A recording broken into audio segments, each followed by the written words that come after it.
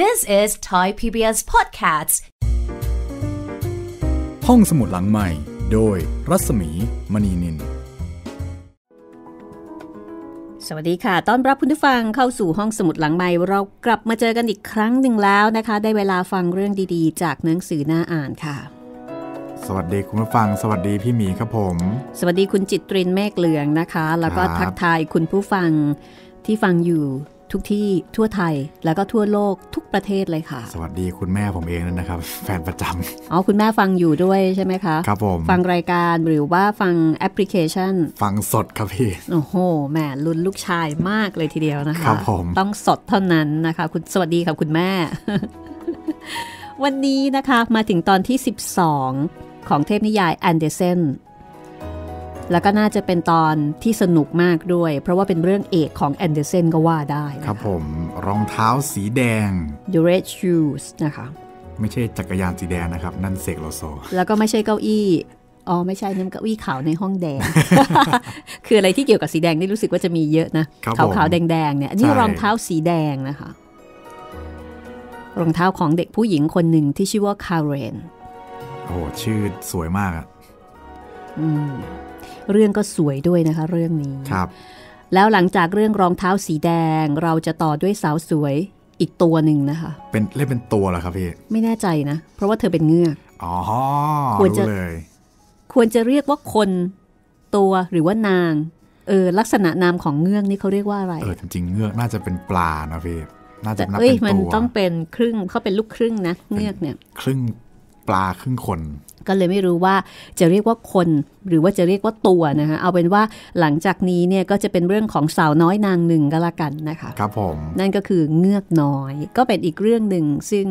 โด่งดังแล้วก็สร้างชื่อเสียงให้กับฮันส์คริสเตียนแอนเดอร์เซน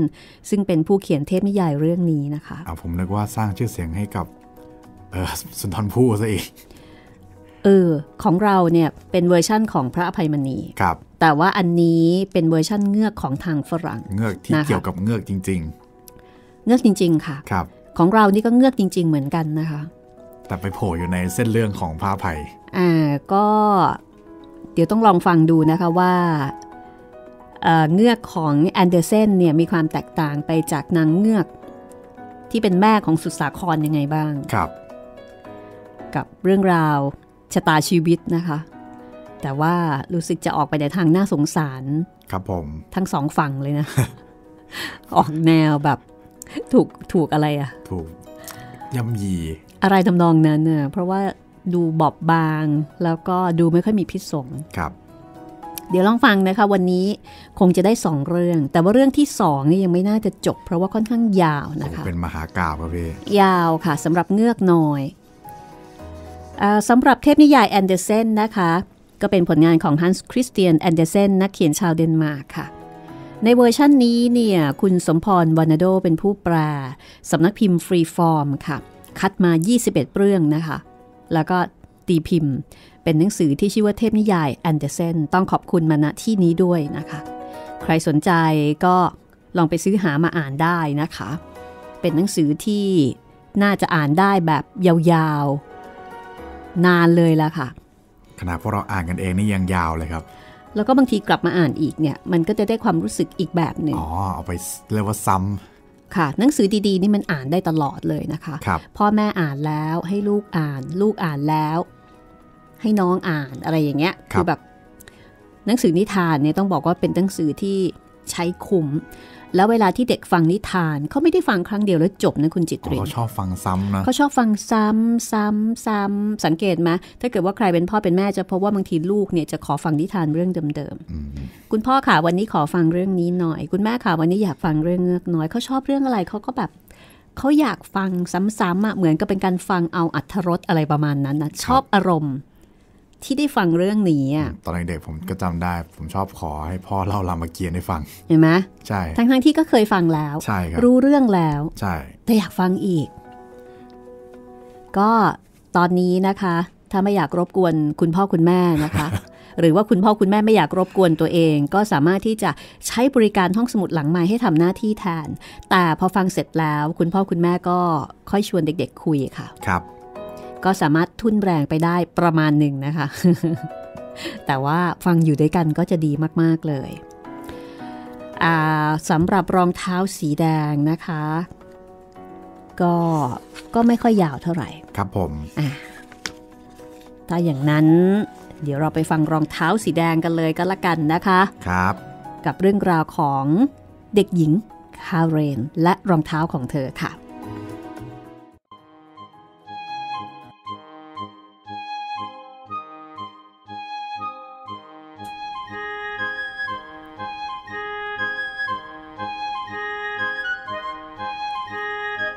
กาลครั้งหนึ่ง มีเด็กหญิงตัวน้อยที่น่ารักแล้วก็บอบบางคนหนึ่ง เธอเป็นเด็กยากจนมาก ในฤดูร้อน เธอต้องเดินเท้าเปล่า ในฤดูหนาว เธอก็ต้องใส่รองเท้าไม้ ที่มีขนาดใหญ่กว่าเท้าของเธอทำให้ฝ่าเท้าแดงกำำแล้วก็เจ็บประบมจนน่าเป็นห่วง ตรงกลางหมู่บ้าน เป็นที่อยู่ของเมียช่างทำรองเท้าแก่ๆคนหนึ่งนางเอาเศษผ้าเก่าๆสีแดงมาต่อกัน แล้วก็เย็บเป็นรองเท้าเล็กๆ คู่หนึ่ง นางพยายามทำอย่างดีที่สุด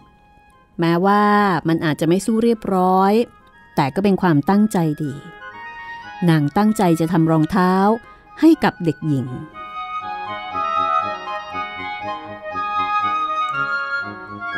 เด็กหญิงคนนี้ชื่อว่าคาเรน เธอได้รับรองเท้าสีแดงคู่นั้น ในวันฝังศพแม่ของเธอ เธอสวมใส่มันเป็นครั้งแรก แม้ว่ามันจะไม่ใช่รองเท้าสำหรับใส่ไว้ทุก แต่เธอก็ไม่มีรองเท้าคู่อื่น เธอเดินตามโลงศพที่ทำจากหญ้าฟาง โดยไม่มีแม้แต่ถุงเท้า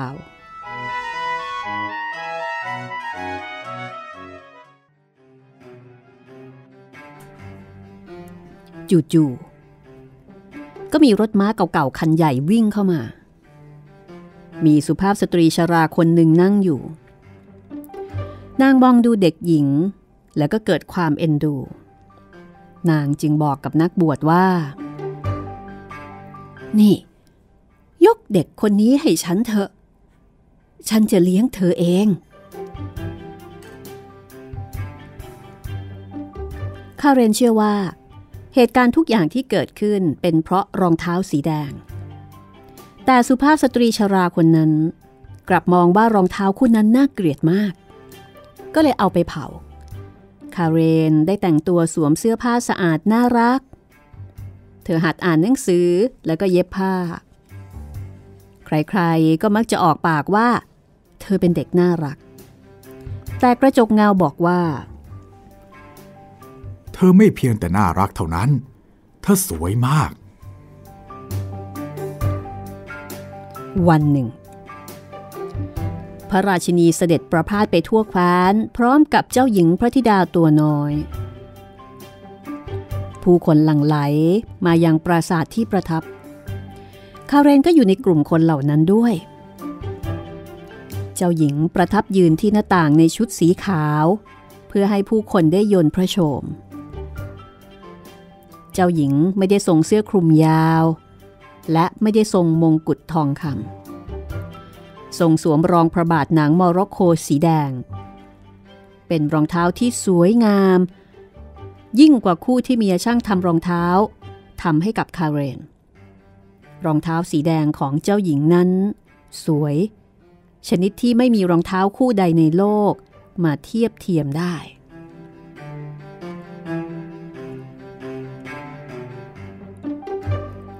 ต่อมา ในวันที่คาเรนโต พอจะเข้าพิธีรับศีล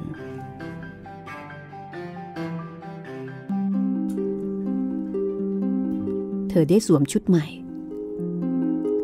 แล้วก็รองเท้าคู่ใหม่ ช่างทำรองเท้าผู้ร่ำรวยในเมือง วัดเท้าน้อยๆของเธอ ขณะนั้น เธออยู่ที่บ้านของเขา ในห้องนอนของเขา ในนั้นมีตู้กระจกใบใหญ่ บรรจุรองเท้าผู้หญิง แล้วก็รองเท้าผู้ชาย ซึ่งล้วนสวยงาม น่าปรารถนา แต่สุภาพสตรี ผู้เลี้ยงดูคาเรน ซึ่งเป็นหญิงชรา สายตาก็ไม่ค่อยดี มองอะไรก็ไม่ค่อยถนัด มองอะไรก็ไม่ค่อยเห็น เธอไม่ได้ประทับใจรองเท้าพวกนั้น ในบรรดารองเท้าเหล่านั้น มีรองเท้าสีแดงคู่หนึ่ง ช่างเหมือนกับรองเท้าสีแดงของเจ้าหญิงเหลือเกิน แล้วมันก็สวยมาก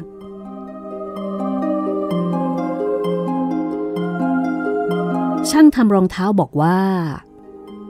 เขาตั้งใจทำรองเท้าคู่นี้ให้กับลูกสาวท่านเขาคนหนึ่ง แต่ว่าเธอสวมได้ไม่พอดี ก็เลยต้องเอาออกมาขาย คงจะทำด้วยหนังพิเศษละสิ ฉันว่าดูมันเงาดีเหลือเกิน จริงด้วยค่ะ มันดูขึ้นเงาแล้วก็สวยจังเลย คาเรนบอก ปรากฏว่า มันพอดีกับเท้าของเธอ สุภาพสตรีชรา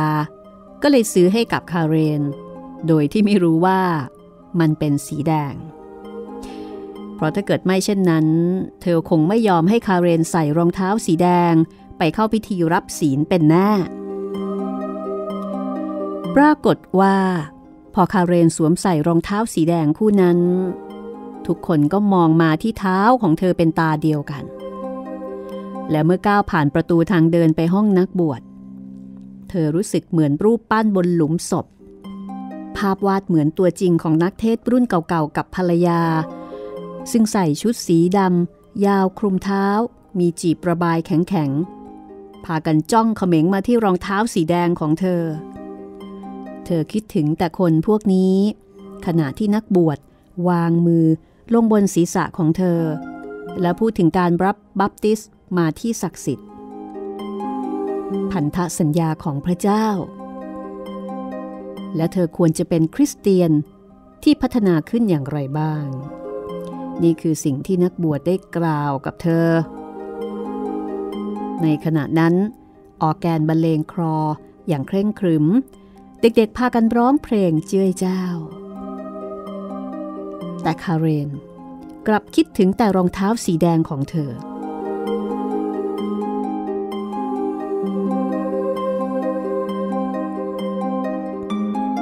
อตกบ่าย สุภาพสตรีชรา ก็ได้ยินทุกคนพูดถึงรองเท้าสีแดงของคาเรน เธอจึงบอกว่านั่นเป็นความผิดอย่างยิ่งของคาเรน เพราะว่ามันไม่เหมาะเลย แล้วก็กำชับว่าต่อไปเวลาไปโบสถ์คาเรนจะต้องใส่แต่รองเท้าสีดำเท่านั้น แม้ว่าเธอจะอายุมากขึ้นแค่ไหนก็ตาม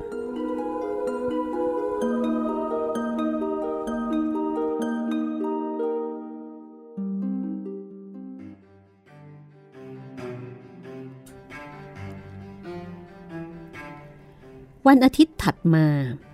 มีพิธีรับศีลครั้งแรกของเธอ คาเรนมองดูรองเท้าสีดำแล้วก็มองดูรองเท้าสีแดง แล้วก็มองซ้ำอีก และในที่สุด เธอก็เลือกใส่รองเท้าสีแดง วันนั้นดวงอาทิตย์ทอแสงเจิดจ้า คาเรนกับสุภาพสตรีชรา เดินไปตามทางเดินเล็กๆ ผ่านทุ่งข้าวโพด ซึ่งค่อนข้างจะมีฝุ่นเยอะ ที่ประตูโบสถ์มีทหารชราคนหนึ่งยืนอยู่ที่นั่นโดยมีไม้เท้าค้ำยัน เขามีคราวยาวดูแปลกมาก คราวของเขาออกสีแดงๆมากกว่าขาว เขาก้มตัวลงตรงพื้น และก็ขอเช็ดรองเท้าให้กับสุภาพสตรีชรา คาเรนยืดเท้าเล็กๆ ข้างหนึ่งของเธอออกมา ทหารชราผู้นั้นกล่าวว่า ดูสิ รองเท้าเต้นรำคู่นี้สวยจังเลย เวลาเต้นรำต้องอย่าให้หลุดนะครับ พูดพราง ทหารก็เอื้อมมือมาจับที่พื้นรองเท้า สุภาพสตรีชราให้เงินทำทานแก่ทหารชราผู้นั้น ก่อนจะเดินเข้าโบสถ์ไปกับคาเรน ปรากฏว่า ทุกคนในโบสถ์ก็พากันมองรองเท้าสีแดงของคาเรน รูปภาพต่างก็ดูรองเท้าของเธอด้วย ขณะที่คาเรนคุกเข่าอยู่ที่แท่นพิธี แล้วก็ยกถ้วยน้ำองุ่นขึ้นจรดปริมฝีปาก ใจของเธอก็คิดถึงแต่รองเท้าสีแดง ราวกับว่ามันแหวกว่าอยู่ในถ้วยนั้น เธอลืมหมดทุกสิ่งทุกอย่าง ลืมแม้กระทั่งร้องเพลงสวด ลืมสวดอธิษฐาน ข้าแต่พระบิดาผู้สถิตในสวรรค์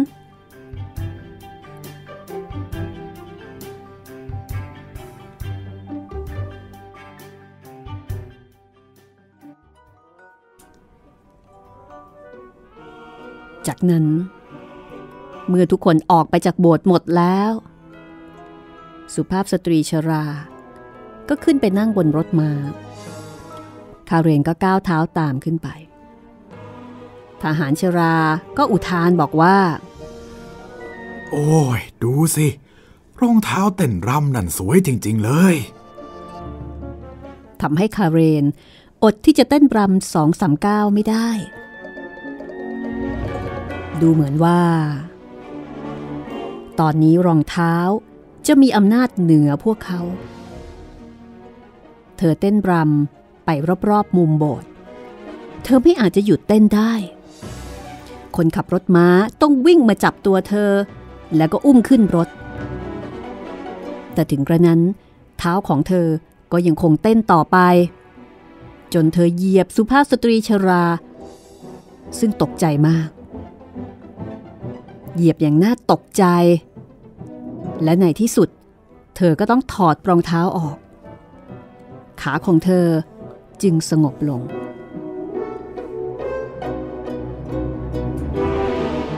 เมื่อถึงบ้าน คาเรนเอารองเท้าไปเก็บในตู้ แต่ก็ยังอดมองดูมันไม่ได้ ต่อมาสุภาพสตรีชราล้มป่วยลง ใครๆต่างก็พากันบอกว่า นางจะไม่หายดี จะต้องมีคนเฝ้าดูแลและพยาบาล ไม่มีใครเหมาะกับหน้าที่นี้มากไปกว่าคาเรน วันหนึ่ง คาเรนได้รับเชิญให้ไปงานเต้นรำใหญ่ในเมือง เธอมองดูสุภาพสตรีชราผู้ไม่มีทางจะหายป่วย แล้วก็มองดูรองเท้าสีแดง เธอคิดในใจว่าไม่น่าจะผิดบาปอะไรถ้าเธอจะใส่รองเท้าสีแดง ธอน่าจะลองดู เธอนึกในใจแล้วเธอ ก็ใส่รองเท้าสีแดง ใส่ไปงานเต้นรำแล้วก็เริ่มเต้น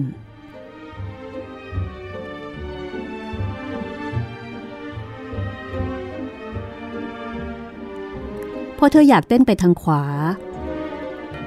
แต่รองเท้ากลับเต้นไปทางซ้าย แต่พอเธอต้องการเต้นไปข้างหน้า เจ้ารองเท้ากลับเต้นไปข้างหลัง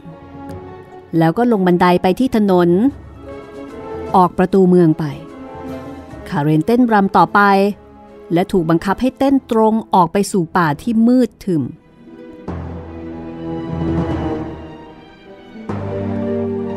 ทันใดนั้น มีแสงสว่างมาจากต้นไม้รอบๆเธอ ตอนแรก เธอคิดว่าเป็นดวงจันทร์ แต่มันกลับเป็นใบหน้าของทหารชราผู้มีเคราสีแดงคนนั้น เขานั่งพยักหน้าก่อนจะบอกว่า อืม ดูสิ รองเท้าเต้นรำนั่น สวยจริง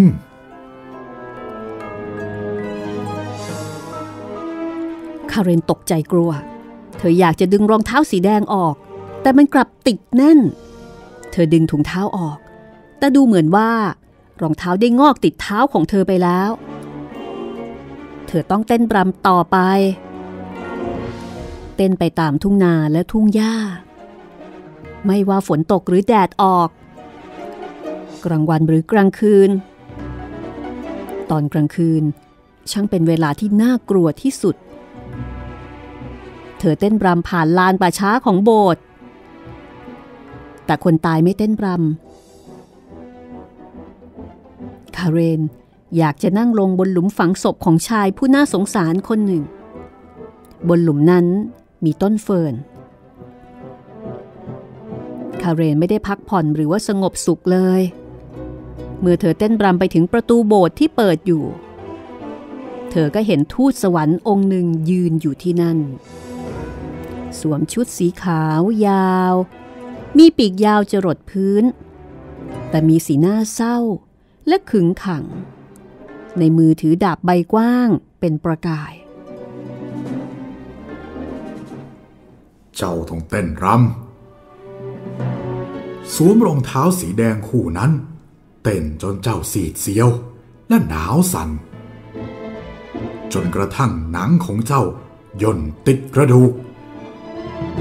เต้นจากประตูด้านหนึ่ง ไปประตูอีกด้านหนึ่ง เต้นไปที่ที่เด็กไร้แก่นสาร เจ้าจะต้องเคาะประตูให้พวกเขาได้ยินและตัวสัน่น เจ้าจะต้องเต้นรำ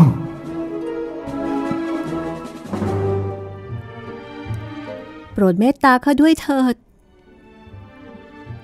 คาเรนพยายามร้องขอ แต่เธอไม่ได้ยินคำตอบจากทูตสวรรค์ เนื่องเพราะตอนนั้น รองเท้าได้พาเธอผ่านประตูเข้าไปในทุ่งนา ข้ามถนน ข้ามสะพาน แล้วก็เต้นต่อไป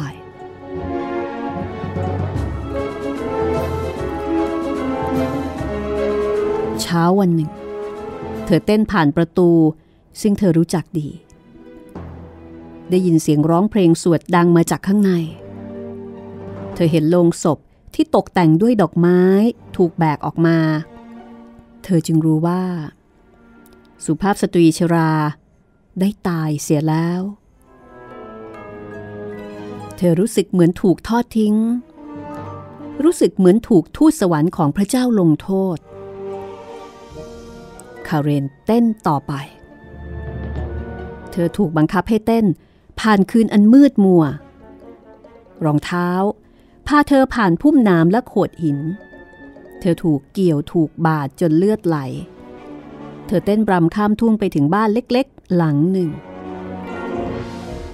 นี่คือที่พักของเพชฌฆาตคาเรนรู้ดี คาเรนเอานิ้วเคาะที่หน้าต่าง แล้วก็ร้องเรียก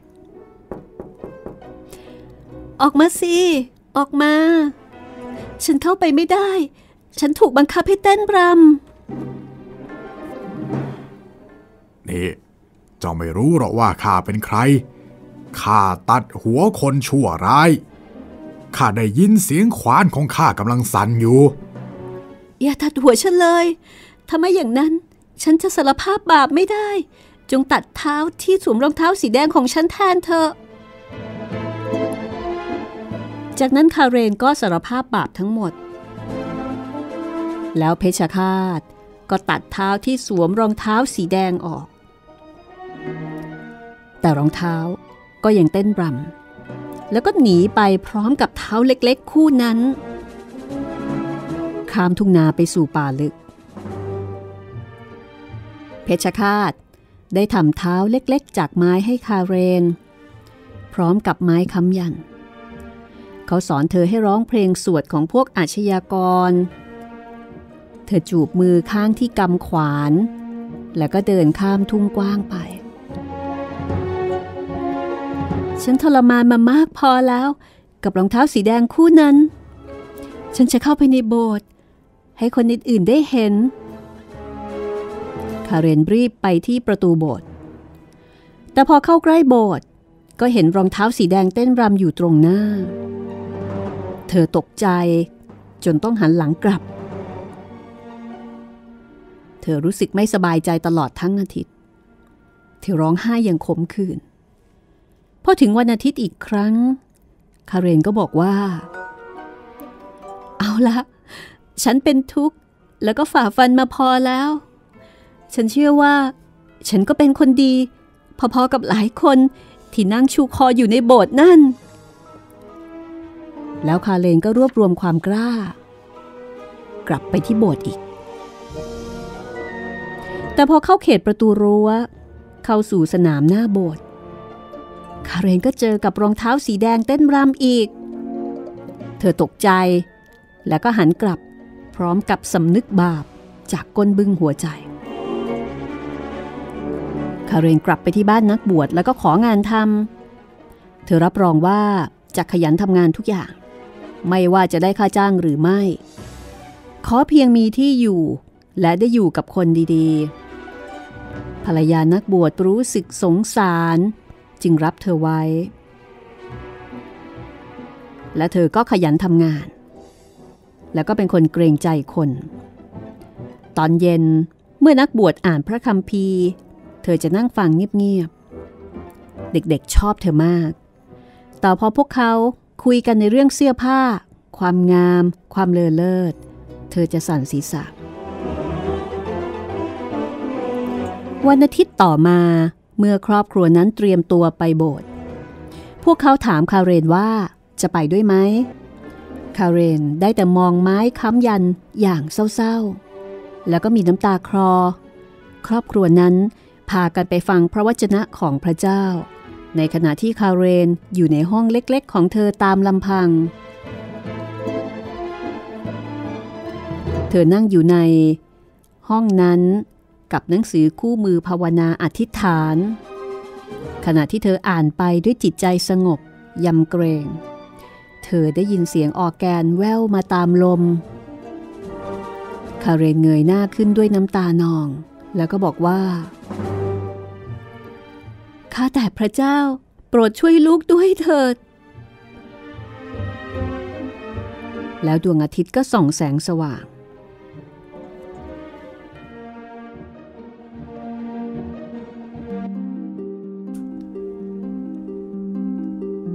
เบื้องหน้าของเธอตอนนี้ คือทูตสวรรค์ของพระเจ้า ในชุดสีขาว แบบเดียวกับที่เธอเห็นที่ประตูโบสถ์ในคืนนั้น แต่คราวนี้ทูตสวรรค์ไม่ได้ถือดาบ แต่ถือกิ่งไม้งามสีเขียวสด ซึ่งมีดอกกุหลาบเต็มทั้งกิ่ง ทูตสวรรค์เอากิ่งไม้แตะเพดานห้อง เพดานก็ยกสูงขึ้น บริเวณที่ถูกแตะมีดาวสีทองทอประกาย ทูตสวรรค์แตะที่กำแพงกำแพงก็ขยายกว้างออก คาเรนเห็นออแกนกำลังบรรเลงเพลง เห็นภาพเก่าแก่ของนักเทศกับภรรยา ที่นั่งบนมานั่งมีเบาะรองกำลังร้องเพลงจากหนังสือคู่มือภาวนาอธิษฐาน ปรากฏว่า โบสถ์ได้มาหาเด็กหญิงผู้น่าสงสารถึงห้องแคบๆของเธอ หรือไม่เช่นนั้น เธอก็คงไปที่โบสถ์เอง เธอนั่งอยู่ที่มานั่ง พร้อมกับครอบครัวของนักบวช เมื่อพวกเขาร้องเพลงจบและเงยหน้าขึ้น และพยักหน้าให้ พร้อมกับบอกว่า เธอทำถูกแล้วที่มาโบสถ์ที่ฉันมาได้ ก็เพราะความเมตตานั่นเอง คาเรนบอก จากนั้นออร์แกนก็บรรเลงเพลง เสียงนักร้องประสานเสียงเด็กไพเราะอ่อนหวาน แสงแดดส่องสว่างอย่างอบอุ่นเข้ามาทางหน้าต่าง ทอดลงมาที่มานั่งที่คาเรนนั่งอยู่ หัวใจของเธอเบิกบานเต็มเปี่ยม ด้วยแสงแดดสดใส เต็มไปด้วยความสงบและชื่นบาน และในที่สุด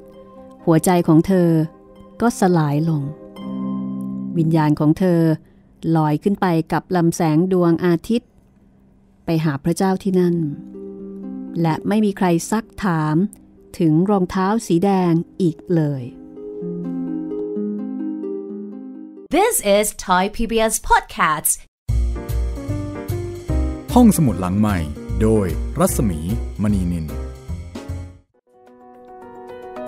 เข้าสู่ช่วงที่2นะคะ ของห้องสมุดหลังใหม่จบไปเรียบร้อย รองเท้าสีแดงโหดเหมือนกันนะพี่ มีตัดเท้ากันด้วย อือหือแล้วก็เป็นรองเท้าที่พยายามจะควบคุมคนนะคะ ครับ แล้วก็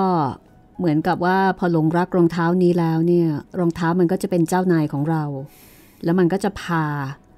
ท่องไปตามที่ต่างเต้นๆโดยที่ไม่สามารถจะควบคุมได้ เต้นไม่หยุด เต้นไม่หยุดเลย ฟังเรื่องนี้แล้ว เด็กๆนึกถึงอะไรบ้างนะคะ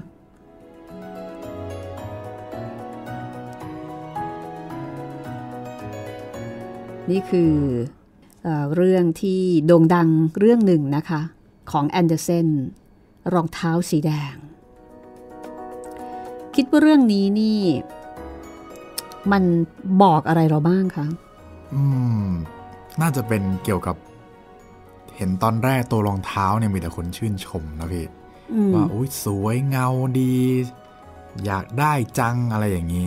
แล้วพอมาครอบครองมันจริงๆแล้วมันก็ไม่ได้ดีอย่างที่คิด แล้วมันก็มีประเด็นที่ว่าเวลาไปโบสถ์อ๋อความไม่เหมาะสม เหมือนกับเรื่องความไม่เหมาะสมอะไรงั้นด้วยหรือเปล่าคะครับ ว่าเวลาไปโบสถ์เนี่ยไปทำพิธีจะต้องใส่รองเท้าสีดำครับ ถ้าเป็นรองเท้าสีแดงดูไม่เหมาะสม อันนี้เราก็ไม่แน่ใจเนาะว่าจริง ๆ แล้วเป็นเป็นยังไงหมายถึงว่าตามประเพณีครับของคนที่ไปโบสถ์เนี่ยคิดยังไงกับเรื่องนี้ แต่เดี๋ยวนี้คงไม่ได้เป็นประเด็นแล้วมั้งคะไม่ซีเรียสขนาดนั้น ก็อันนี้ทิ้งเป็นคำถามเอาไว้นะคะว่าเด็กๆฟังเรื่องนี้แล้วเนี่ยรู้สึกยังไงแล้วก็คิดถึงอะไรบ้างอืมเรื่องต่อไปนะคะ ครับผม อันนี้ไม่ต้องคิดมากเลยเนาะ The Little Mermaid เงือกเป็นน้อยเรื่องของการผจญภัยครับ ของเงือกน้อยนะคะ ภาษาอังกฤษใช้คำว่า mermaid ก็เป็นเรื่องที่น่าแปลกนะคะว่าจินตนาการของมนุษย์เกี่ยวกับเงือกเนี่ยคล้ายๆกันในหลายพื้นที่ ครับผม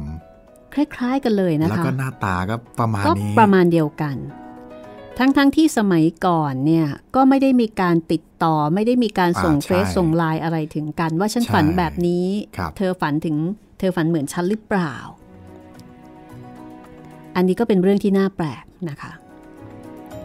แล้วก็เรื่องของเงือกเนี่ยมันก็เหมือนกับเป็นพื้นที่ลึกลับ ที่ก็ยังคงมีการพูดถึงกันอยู่ว่าจริง ๆ แล้ว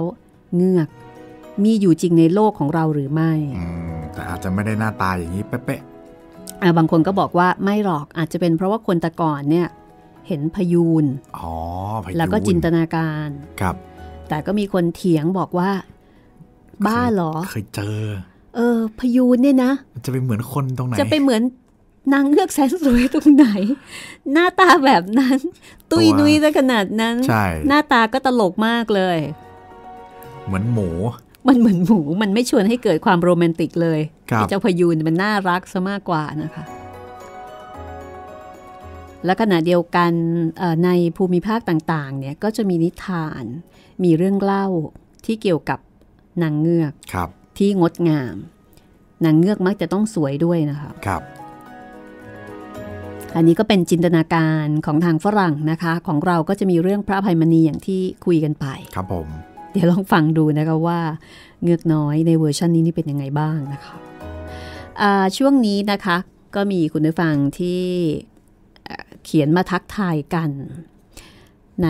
inbox นะคะของรัศมีมณีนินที่เป็น Facebook บุคคลค่ะ ซึ่งถ้าเกิดว่าคุณผู้ฟังที่เป็นเพื่อนกันนะคะ ก็สามารถที่จะเขียนทักทายมาที่ inbox ที่นี่ได้ แต่ถ้าเกิดว่าเอาง่าย ๆเลยเนี่ยก็สามารถติดต่อทักทายเสนอแนะเรื่องใหม่ หรือว่าแจ้งผลการรับฟัง แจ้งปัญหาการรับฟังนะคะ ก็ได้ 3 ทางค่ะ ครับผมก็ช่องทางแรกนะครับ ทางแฟนเพจ Facebook Thai PBS Podcast นะครับ แล้วก็สำหรับใครที่ฟังทาง YouTube ก็คอมเมนต์ไว้ใต้คลิปที่คุณผู้ฟังฟังได้เลยครับผม หรือว่าจะส่งมา inbox นะคะ ของเพจรัศมีมณีนินก็ได้เช่นกันนะคะเอ่อคุณประภาพันธ์นะคะ คุณประภาพันธ์บอกว่า สวัสดีค่ะ ติดตามผลงานของห้องสมุดหลังไม้จากช่องเออ Spotify ค่ะ โอ้โหแหมช่องทางนี้นี่คนฟังเยอะมากเลยนะครับพี่ มีคนพูดถึงเยอะมากนะคะ ครับ คุณวัน คุณวันจะบอกว่า สวัสดีครับ สวัสดีครับ ตามมาจากห้องสมุดหลังไม้อยากถามว่าในพอดแคสต์มีห้องสมุดหลังไม้เรื่องกระบี่เยอะยุทธจักรหรือเปล่าครับ หาไม่เจอเอ่อกระบี่เย้ยจุทจักรนี่จริง ๆมีนะครับ แต่ยังไม่ได้เอาลงช่องทางไหนเลยนะครับ ผม ยังลังเล ยังเสียวๆอยู่ครับ ยังไม่กล้าฟันธงว่าจะลงได้หรือเปล่าอ่าๆ มันก็จะมีหลายเรื่องนะที่มีคุณผู้ฟังถามถึงมานะครับ ก็ตอนนี้เออลองฟังเรื่องที่เราลงไปก่อนนะคะ ครับผม ส่วนเรื่องที่เป็นปัญหาเนี่ยเดี๋ยวจะพยายามเคลียร์นะคะ คุณจิกกู้จิกกู้แมงโก้นะคะจิกกู้แมงโก้อ่าอันนี้ทักทายมาสั้นๆ ค่ะบอกว่าแฟนคลับห้องสมุดหลังไม้เที่ยวล่าสุดครับโอ้เที่ยวล่าสุดด้วยเที่ยวล่าสุด ก็คืออันนี้ละมั้งคะครับอันเดอร์เซนเนี่ยนะคะ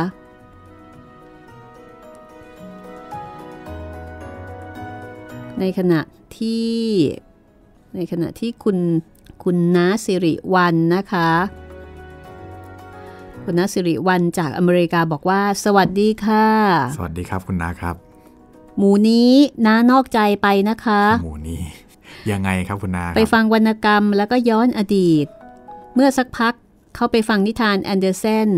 ได้ยินคุณหมีตอบที่น้าเขียนไปค่ะออหมายถึงว่าที่นอกใจนี่คือนอกใจจากการฟังฟังสดที่เว็บไซต์อ๋อแล้วก็ไปค้นเรื่องเก่าๆอ่าอันนี้ไม่ถือว่านอกใจนะคะ ครับผม ถือว่ายังคงใจเดียวอยู่ค่ะ ขอบคุณคุณน้านะคะครับเขียนผมมาคุยกัน คุณแคทนะคะ คุณแคทบอกว่า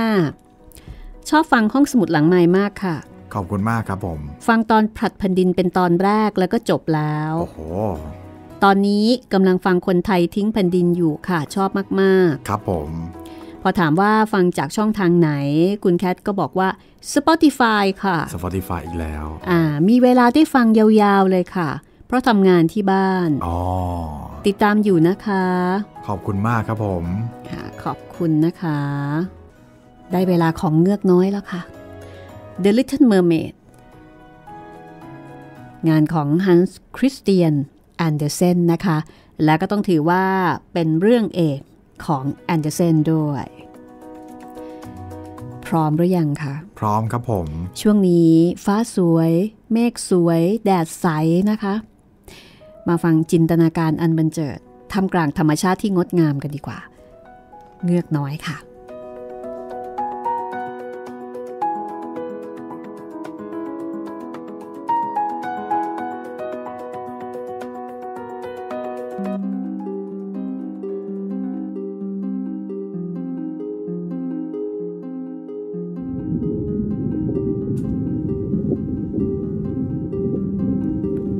กลางมหาสมุทรอันไกลโพ้น ณที่ซึ่งน้ำทะเลเป็นสีฟ้าเข้ม น้ำที่นั่น ใสเหมือนแก้วเจรไนแล้วก็ลึกจนยังไม่ถึง ต่อให้เอายอดสูงแหลมของโบสถ์หลาย ๆ แห่งมาต่อกัน แล้วหย่อนลงไป วางที่ก้นทะเล ก็ยังไม่สูงพอที่จะโผล่พ้นน้ำทะเลนั่น ใต้มหาสมุทรที่ลึกมากๆนี้ เป็นที่อยู่ของพระราชาแห่งท้องทะเลกับบริวาร ที่นี่ มีพันไม้ แล้วก็ดอกไม้งดงามแปลกตาขึ้นอยู่มากมาย พืชพันธุ์เหล่านี้มีใบและลำต้นที่อ่อนไหวโบกโบยไปตามแรงน้ำเมื่อน้ำเคลื่อนไหวเพียงเล็กน้อย ก็จะทำให้พวกมันขยับ เหมือนมีชีวิต ปลาใหญ่น้อยว่ายวนเวียนอยู่ตามกิ่งใบของต้นไม้พวกนี้ แบบเดียวกับฝูงนก ที่บินโฉบไปมาระหว่างกิ่งใบต้นไม้บนพื้นดินณส่วนลึกที่สุดใต้ทะเลนั้น เป็นที่ตั้งปราสาทของพระราชาเจ้าบาดาล ปราสาทของพระองค์ สร้างจากปะการัง มีหน้าต่างทรงกอธิก ที่ทำด้วยอัมพันธ์สีเหลืองใสเรียงเป็นแนวยาว มีหลังคาที่ทำด้วยเปลือกหอย ซึ่งเปิดปิดตามจังหวะที่น้ำไหลพัดมากระทบ เป็นปราสาทที่สวยงามมาก เปลือกหอยแต่ละฟ้า มีไข่มุกส่องแสงเป็นประกายเรืองรองงดงาม เหมาะที่จะนำไปประดับยอดมงกุฎ ของพระราชินี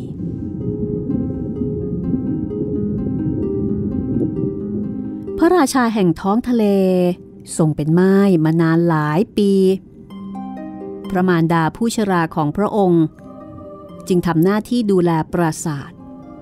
พระนางทรงฉลาดรอบรู้ และทรงภาคภูมิใจในชาติกำเนิดอันสูงส่งของตน เห็นได้จากการที่ทรงประดับประดาหาง ด้วยหอยนางรมถึง 12 ตัว เงือกที่มียศสูงตัวอื่นๆ ได้รับอนุญาตให้ประดับหอยนางรมได้แค่ 6 ตัว พระนางสมควรแก่การยกย่องอย่างยิ่ง โดยเฉพาะทรงเลี้ยงดูพระธิดาทั้งหกพระองค์ของพระราชา หรืออีกในหนึ่งก็คือ พระนัดดาหลานของพระนางเป็นอย่างดี เจ้าหญิงเงือกทุกพระองค์ล้วนหน้าตาน่ารัก โดยเฉพาะองค์เล็กสุดนั้น น่ารักและก็สวยกว่าใครทั้งหมด ผิวของเธอผ่องใส นวลเนียนละเอียด เหมือนใบกุหลาบ ดวงตาสีฟ้าเข้ม เหมือนสีของน้ำทะเลส่วนที่ลึกที่สุด เธอไม่มีเท้า มีแต่หางเหมือนปลา เช่นเดียวกับเงือกอื่น เจ้าหญิงเงือกทั้งหกเล่นด้วยกันอยู่ในท้องพระโรงเกือบตลอดวัน บางครั้งก็เปลี่ยนไปเล่นที่สวนดอกไม้ใต้น้ำซึ่งมีดอกไม้งอกออกมาตามช่องกำแพง ช่องกำแพงหน้าต่างอัมพันบานใหญ่ที่เปิดเอาไว้เสมอ ฟูงปลาว่ายเข้าออกปราสาทราวกับนกนางแอ่น ต่างกันตรงที่ว่าปลาเหล่านั้นว่ายเข้าไปหาเจ้าหญิงเงือกทั้งหก มันกินอาหารจากมือของพวกเธอ แล้วก็ยอมให้ลูบไล้ตัวของมันเล่น ด้านนอกของปราสาท มีสวนแสนสวย เต็มไปด้วยดอกไม้สีแดงสด กับสีฟ้าเข้ม บางชนิดดูคล้ายเปลวเพลิง ผลไม้สีทองสุกปรังดุดทองคำ ใบไม้กิ่งไม้โบกโบยไหวเอ็นไปมาพื้นสวนเป็นทรายเม็ดละเอียด เป็นประกายสีน้ำเงิน คล้ายเปลวเพลิงกรรมฐานสูงขึ้นไป มีแสงสีฟ้าใสสว่างเรืองรอง อยู่เหนือทุกสิ่ง ดูคล้ายห้อมล้อมด้วยอากาศจากเบื้องบน เห็นท้องฟ้าสีครามใช้ส่องมาไม่มืดทึมอย่างทะเลลึกทั่ว ๆ ไป ในวันที่อากาศดีทะเลสงบ จะเห็นดวงอาทิตย์คล้ายดอกไม้สีม่วง สาดแสงเป็นแฉกออกจากศูนย์กลาง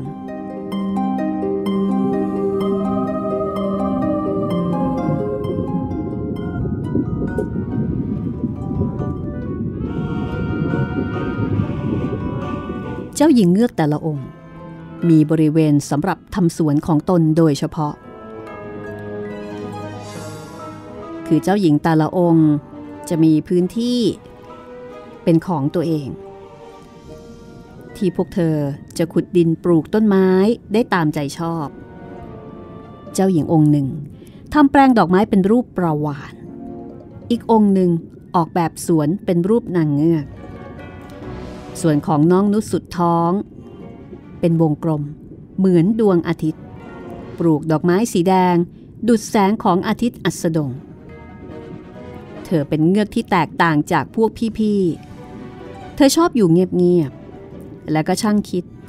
ขณะที่พี่ๆ ยินดีปรีดากับข้าวของแปลกๆ ที่ได้มาจากบรรดาเรืออับปางที่จมอยู่ก้นทะเล แต่เงือกผู้เป็นน้องนุสุดท้องไมิได้สนใจใยดีกับสิ่งเหล่านั้นเลย เว้นแต่ดอกไม้สีแดงสดสวยคล้ายดวงอาทิตย์ของเธอ หินอ่อนสีขาวแกะสลัก เป็นรูปเด็กชายรูปงาม ดูองอาจพึ่งผ่าย รูปแกะสลักนี้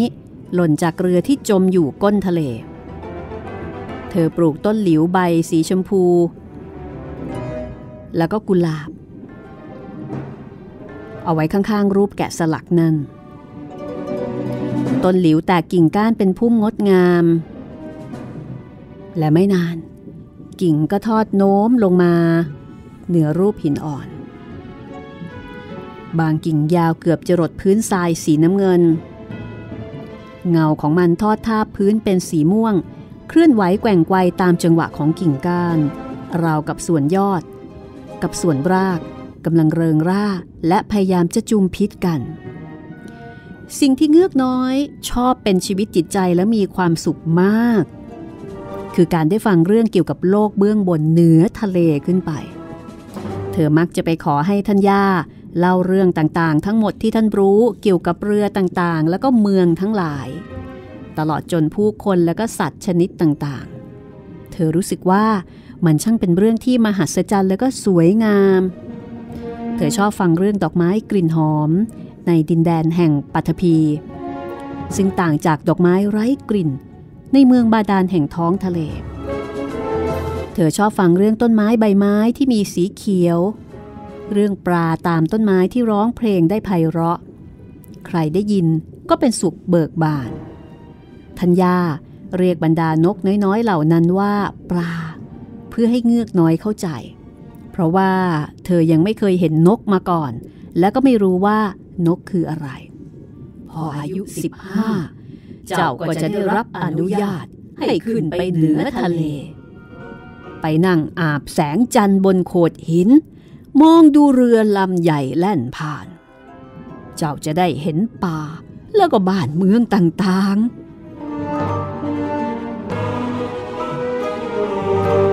เจ้าหญิงก็รอคอย รอคอยเวลาที่จะได้รับอนุญาตให้ขึ้นไปเหนือทะเล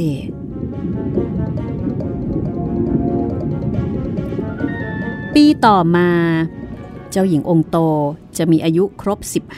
15 คือเจ้าหญิงแต่ละองค์เนี่ยจะมีอายุห่างกันองค์ละหนึ่งปี ดังนั้นหมายความว่า เจ้าหญิงเงือกองค์สุดท้องจะต้องรออีกถึง 5 ปี กว่าจะถึงคราวที่เธอได้ขึ้นจากใต้มหาสมุทรไปชมโลกมนุษย์ เจ้าหญิงเงือกแต่ละองค์ สัญญากันว่า จะเล่าสิ่งที่ได้เห็น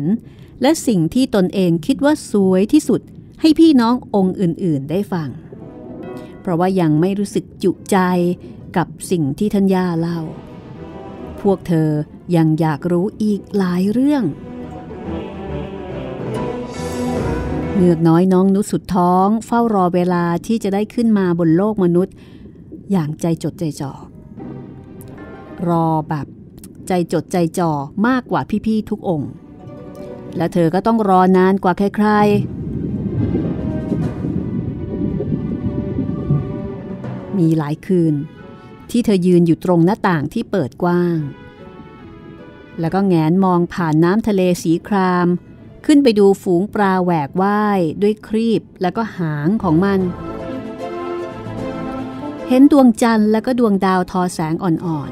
ๆ แต่เมื่อมองผ่านน้ำทะเล มันใหญ่ มากกว่าที่มนุษย์เห็น และเมื่อมีอะไรบางอย่าง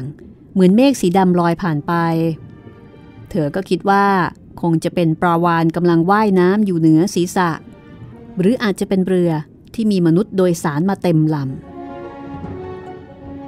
นี่คือจินตนาการของเงือกน้อย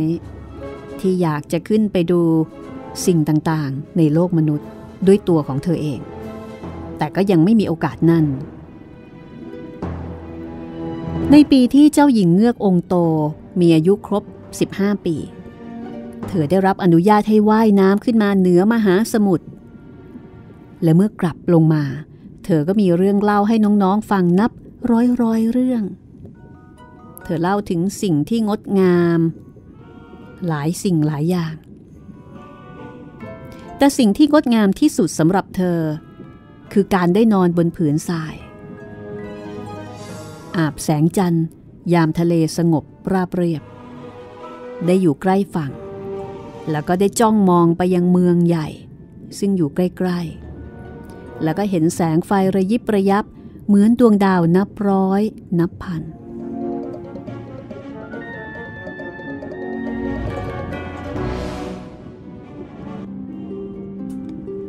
เธอเล่าว่า เธอได้ฟังเสียงเพลง เสียงรถม้า แล้วก็เสียงผู้คนพูดกัน เธอได้ยินเสียงระฆังโบสถ์ที่สดใสร่าเริง จากยอดหลังคาแหลมสูงเสียดฟ้า แต่เนื่องจากว่าเธอไม่สามารถจะเข้าไปใกล้สิ่งที่น่าพิศวงเหล่านั้นได้ เธอจึงยิ่งทวินหามัน นี่คือเรื่องเล่าจากเจ้าหญิงองค์โต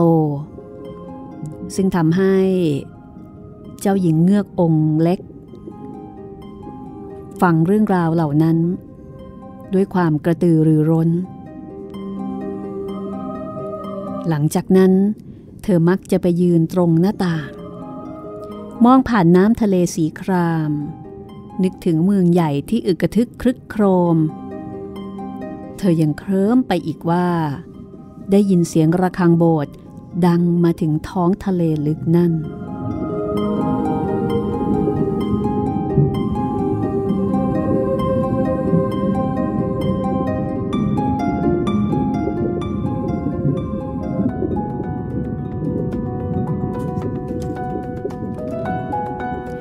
เงือกก็จินตนาการถึงโลกมนุษย์ ในขณะเดียวกันมนุษย์ก็จินตนาการถึงเงือกแล้วก็โลกของเงือกว่าเอ๊ะตกลงเงือกมีอยู่จริงไหม ทางฝ่ายต่างจินตนาการถึงกันนะพี่ แล้วก็ไม่รู้ว่าเขาจะมองเราเป็นยังไงเนาะถ้าเขามีตัวตนจริงเงือกนี่เป็นเรื่องเล่าที่มีเสน่ห์มากนะคะๆครับ สมัยเด็กๆเนี่ยจำได้ว่าเอ่อที่บ้าน ซึ่งอยู่ติดกับแม่น้ำท่าจีนอ๋อแล้วก็ท่าน้ำเนี่ยจะมีบันไดเป็นบันไดหิน ที่มีการทำบันไดหิน เพื่อที่จะให้คนเนี่ยลงไปอาบน้ำไปซักผ้า แล้วก็มีแพไม้ คือเป็นบันไดเป็นขั้นๆ แล้วก็มีสันเจ้าอยู่ริมแม่น้ำสมัยก่อนตอนเด็กๆนะคะ มีผู้ใหญ่เล่าให้ฟังบอกว่าที่นี่เนี่ยมีนางเงือกฮะที่แม่น้ำท่าจีน คือคงจะเป็นเรื่องเล่าให้เด็กๆฟังนะอ๋อแต่เขาก็เล่าเป็นสตอรี่ที่แบบโอ้โหมันชวนให้จินตนาการนี่บันเจิดเพลิดเพลวมาก ครับ เขาก็บอกว่า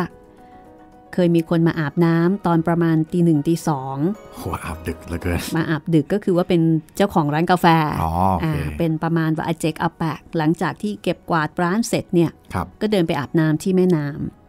แล้วก็ไปเจอนางเงือกนี่กำลังนั่งหวีผมโอ้เวลาที่นางเงือกขึ้นมาบนโลกมนุษย์เนี่ย เป็นเวลาที่เธอแบบจะชิลมาก เธอจะขึ้นมาหวีผมแบบอารมณ์ดีมีความสุข สบายๆ และเธอก็มักจะขึ้นมาในเวลากลางคืนดึกสงัด เพราะมั่นใจว่าจะไม่เจอมนุษย์ แต่บังเอิญเจอปรากฏว่าเจอเจออาแปะอ่าอาเจกหรืออาแปะท่านนี้เนี่ยนะคะ ครับ แล้วก็เธอก็ตกใจ และเวลาที่เงือกตกใจเนี่ยเธอก็จะลืมหวีอ๋อแล้วก็จะมีนิทานต่อไปว่าหวีที่เธอใช้หวีเนี่ยก็เป็นหวีทองคำโหอ่าคนนั้นก็จะได้หวีทองคำของนางเงือกไป แล้วก็จะเห็นนางเงือกเนี่ยกระโดดลงน้ำไปโอ้โหเด็ก ๆ ฟังแล้ว จินตนาการบันเจิดมาก อยากเห็นนางเงือก อยากได้หวีทองคำเลยไปอาบน้ำตอนตีหนึ่งแต่นี่ไม่กล้านะอ๋อ เดี๋ยวโดนแม่ตีกลัวจะเจออย่างอื่นมากใช่ไหมที่ไม่ใช่เงือกใช่ไหมใช่อะสิอ๋อแล้วมีจินตนาการถึงจระเข้ด้วยนะคะ คู่กันก็เลยทำให้เด็กๆ ไม่ค่อยกล้าค่ะอ๋อ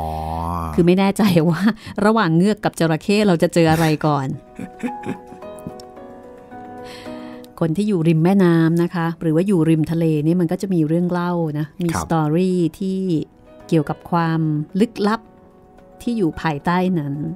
ความลึกลับของ แม่น้ำซึ่งเป็นน้ำจืดก็อย่างหนึ่งก็คือจระเข้อืมเป็นเสน่ห์เหมือนกัน เป็นเสน่ห์สาย dark สาย dark ซึ่งมันชวนฟังแล้วก็น่าตื่นเต้นครับ แล้วก็นางเงือกนางเงือกนี่ได้ทั้ง ได้ทั้งน้ำจืดและได้ทั้งทะเลนะ ยังไม่จบนะคะ อันนี้เป็นเพียงแค่ตอนแรกที่พูดถึงความปรารถนาแล้วก็ความใฝ่ฝันของบรรดาเจ้าหญิงเงือก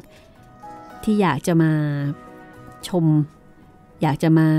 เอ่อดูความเป็นไปในโลกมนุษย์ครับว่าเคยจะเป็นอย่างไร เหมือนเคยเห็นแต่พวกสิ่งของของโลกมนุษย์ รู้สึกตื่นตาตื่นใจครับโอ้เขาไม่มีหางเหมือนเราเรียกว่าหางได้ไหมเนี่ย ใช่เออเขาเป็นอะไรยื่นยื่นออกมาสองข้าง แล้วก็เขาแต่ข้างบนเหมือนเราเลยอะไรอย่างนี้อ่าฮะแล้วก็นกก็เรียกเป็นปลาซะจะได้ไม่ต้องสงสัย เพราะว่าในทะเลไม่มีนกครับ อ่าย่าก็เลยบอกว่าเนี่ยมันก็จะมีปลาเนี่ยเนี่ยเหมือนประมาณนี้แหละ เพียงแต่ว่ามันบิน ปลาบินได้ แล้วก็ร้องได้ด้วยครับ และที่สำคัญนะคะอ่าจะมีดอกไม้ที่มีกลิ่นหอมอ่าอ่าอันนี้คือความแตกต่างว่าดอกไม้ในทะเลเนี่ยมันไม่มีกลิ่นมันไม่มีกลิ่นนะพี่มันไม่หอมครับเอออันนี้ก็เป็นความแตกต่างเนาะสำหรับตอนต่อไปเราก็จะมาติดตาม เรื่องเล่าจากเจ้าหญิงองค์ที่สองค่ะ คือเขาจะไล่ไล่ๆกันอะคนละปีคนละปี พอคนนี้ครบ 15 ก็ได้ขึ้นไปผลัดกันผัดกันพออีกคนหนึ่งครบ 15 โอเค ก็ได้ขึ้นไป เป็นคราวนี้จะเป็นคิวของเจ้าหญิงองค์ที่สองนะครัคะบพอขึ้นไปก็จะกลับลงมาเล่าว่าไปเจอแล้วก็ไปเห็นอะไรบ้างอืม ตอนต่อไปนะคะ ลองมาฟังเรื่องเออมาฟังเรื่องเล่าของเจ้าหญิงองค์ที่สองแล้วก็เจ้าหญิงองค์ที่สามซึ่งของเจ้าหญิงองค์ที่สามเนี่ยเห็นบอกว่าใจกล้ากว่าพี่น้องทั้งหมดนะคะโอ้โหแต่ว่าใจกล้ายังไงเนี่ยต้องลองติดตาม วันนี้หมดเวลาของห้องสมุดหลังไม้แล้วนะคะ เราสองคนลาไปก่อนค่ะ สวัสดีครับ สวัสดีค่ะ This is Thai PBS Podcasts. ห้องสมุดหลังใหม่ โดยรัศมีมณีนิน ถ้าฟังห้องสมุดหลังไม้แล้วชอบ อย่าลืมกดแชร์ อย่าลืมบอกต่อ แล้วก็อย่าลืมกด subscribe ด้วยนะคะ ขอบคุณค่ะ